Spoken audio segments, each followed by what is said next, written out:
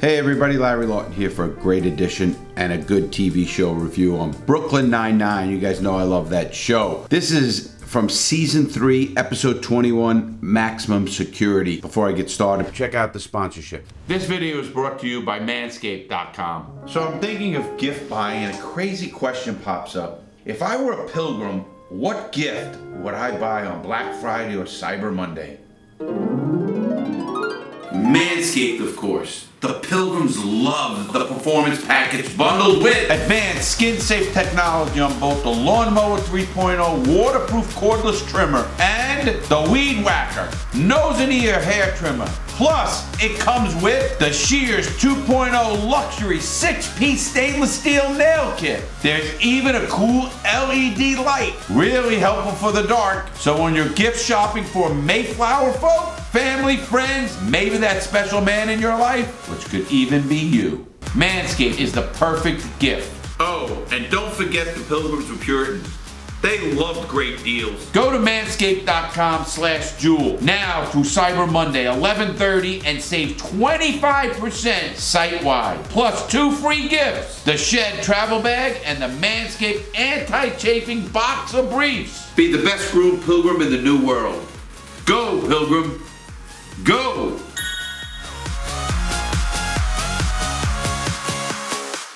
All right, we're gonna get right into watching this episode. They need information, so they gotta send an undercover into a maximum security prison, and it's female. So let's get to this episode. Let's have a little fun on this, and you know it's gonna be fun. It's Brooklyn Nine-Nine. Thank you for all finally showing up. Let's recap. As you know, Jimmy the Butcher Figgis put out a hit on Adrian Pimento, which the mob believes succeeded. For his safety, Pimento has gone off the grid. Remember, the only people we can trust with this information are in this room. And Genevieve.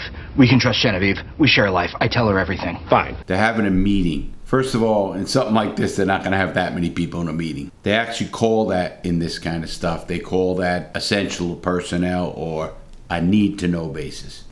Brooklyn Nine-Nine, no. Unfortunately, we can't just arrest Figgis because he has a man inside the FBI. The good news is we have a lead that's going to break this case wide open. Maura Figgis. Jimmy's sister. She's currently serving in a maximum security prison in Texas. They always use her. You remember her? That actress who played the Figgis girl is the uh, the one from The Sopranos, the crazy sister. This isn't one of those women's prisons that we've all seen being all sexy on late night cable, you know, with the ladies touching each other's bits and there's kind of some lame jazz playing. When these chicks fight, it's for real. That's a funny line. I don't know what prisons he's watched on late night TV that are sexy and all that, and not that that great now. As an ex-inmate, I wouldn't have mind being in a female prison. You are Isaac Schwartz, my older Jewish mentor, and you are Isabel Cortez. You're in for stabbing a man on the subway 46 times in the trachea. Isabel Cortez, welcome to your new home. It's gonna be fun. Really? Okay, fresh meat.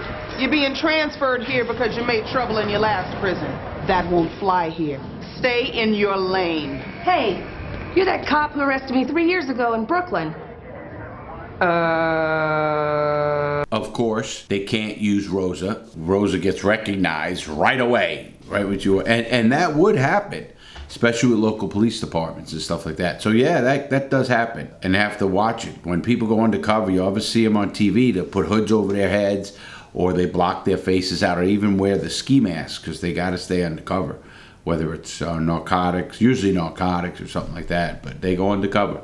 My name is Isabel Cortez. I'm in for murder because some perv on the subway tried to touch me, and I was like, Did someone order a tracheotomy? Okay, I think that's a little too technical. We need to work on your tough talk. So, what are you in for, Cortez? None of your damn business. Nice. Keep going with that. I'm gonna split you like a Sunday with Grandpa, bitch.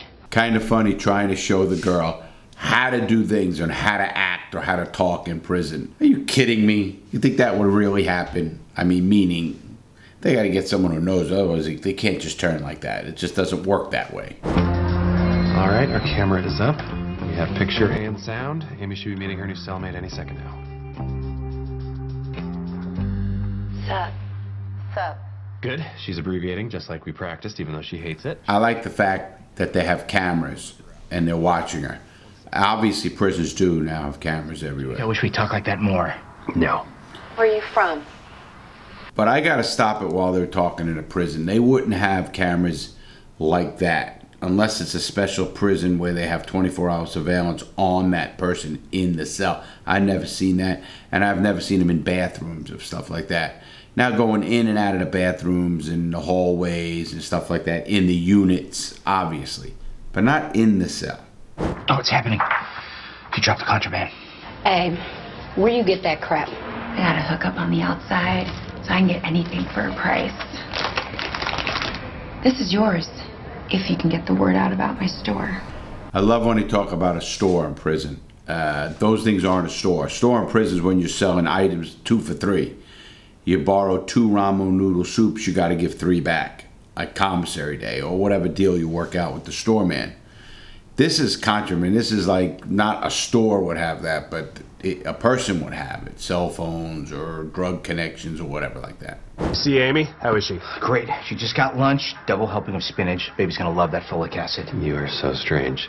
All right, this is her first time eating in the dining hall. Where she chooses to sit is very important. That is so true. Where you sit in a chow hall when you get your food or when you go into that chow hall means a lot. You know, you just can't sit down where you want. I mean, it depends on whose table it is, who's running things. You can get in trouble there. I've seen a guy get stabbed in prison for sitting in the wrong area. Just like that. Oh, good. Here comes Maura. Hey, Cortez. I hear you can smuggle in crap from outside. Nice. It's working. That's right, baby. What do you want? What I want is for you to back the hell off. Because I'm the only store in this prison. Hey, what's going on? I was talking to Figgis, and then the guard said I had an appointment. I'm not supposed to check in until tomorrow. People might get suspicious. Look, we called you in because your first contact with Figgis was a disaster. Why? Because her smuggling plan backfired and she threatened to kill me? They keep bringing her back into the office because he's scared of his girl uh, getting in trouble in there. That's kind of funny. We need a new plan. And I've got one. I need to step to her. Step to her. Amy, this isn't High School Musical. Yeah, Amy, this isn't High School Musical 2. Yeah, and it isn't High School Musical 3 senior year. What goofball cops are the two detectives? In the interest of keeping you as unshanked as possible, I think maybe we need a signal in case things go south. Unshanked? By not getting shanked? Oh, I'm really impressed with you, too. You disagreed with the best strategy, but talked it through like adults. Well, the key is trust. I trust her to stay out of danger, and she trusts me not to interfere. Oh my god, she just pushed Figgis into the garbage. She's in danger. I must interfere. What the hell do you think you're doing, huh? Showing my unborn baby how an ass gets kicked. Fights in prison are so common. I mean, even in women's prisons, they get crazy, man. Female prisons are wild. Uh, I was in a halfway house with the girl, and she was telling me how they, you know, make dildos and do all the crazy stuff in in in female prisons, and they got stabbings and you know lesbian sex, everything you want, even rapes and stuff like that. It's it's it's a violent place. All right, Cortez, time for your checkup. No, thank you. I feel fine. No, you don't. It's your uterus. It's gonna explode. Come with me. Stand back, everyone. You're all in the splash zone. Oh. This ute's gonna boot. Here we go. So disgusting. You're all in the splash zone. I think I know how to get things back on track. I love the plan to get her credibility back. Late for your appointment. Quit touching me. Punch, punch. I don't need checkups every two seconds, you dimple chin. Ow, you're so tough, and I'm just a beautiful intellectual. How would you like to kick the shit out of your boss? Dr. Schwartz, I'm here for my appointment. Hello, Cortez. Shabbat Shalom. Shabbat Shalom? I don't know. Jake made me Jewish. that is a good meeting spot, the medical, but they wouldn't be able to go there all the time, every minute of every day. What's going on with you and that doctor? You seem real tight with him. No, we're not tight. I barely know him. So why were you hugging him? My last appeal got denied, so he was comforting me. He's a sensitive guy. Maybe because of his Jewish faith. I want to talk to him alone. Oh. About something medical or? What did I tell you about asking too many questions? Right. That's that thing you killed a bunch of bitches for. got, got it. Sorry. She's playing a good part, the girl from Sopranos. So you're Dr. Schwartz. That's me. L'chaim. How can I help you? I've been watching you ever since you showed up here. You don't seem like the other doctors that we've had. It's funny. Uh, my best friend Jacob is always saying that. Oh, Cut the crap. We both know why I'm here. we do? Your heart's beating a mile a minute. It's not because I'm nervous. Cortez says that you're sensitive. I like that. I've only been with cheating scum. You know, I hear about a lot of sex in these in these prisons, so Everything okay in here? Oh, good. He was just checking me out. Um, and I will see you soon, Doctor. Mm-hmm. Later. Yeah, later. Curse his perfect butt. and she's no beauty queen, this inmate. Why can't I find a good man? Could be because you're in prison for murder. Nah. Why can't you find a good man? Because you're in prison for murder. But believe it or not, death row and, and murders get fan mail. There's some crazy people out there. Uh, No, I do want to hear about them. Please, tell me everything about them. Thanks. I'll tell you what, that was fun. I love watching it. Just it makes me relax those episodes.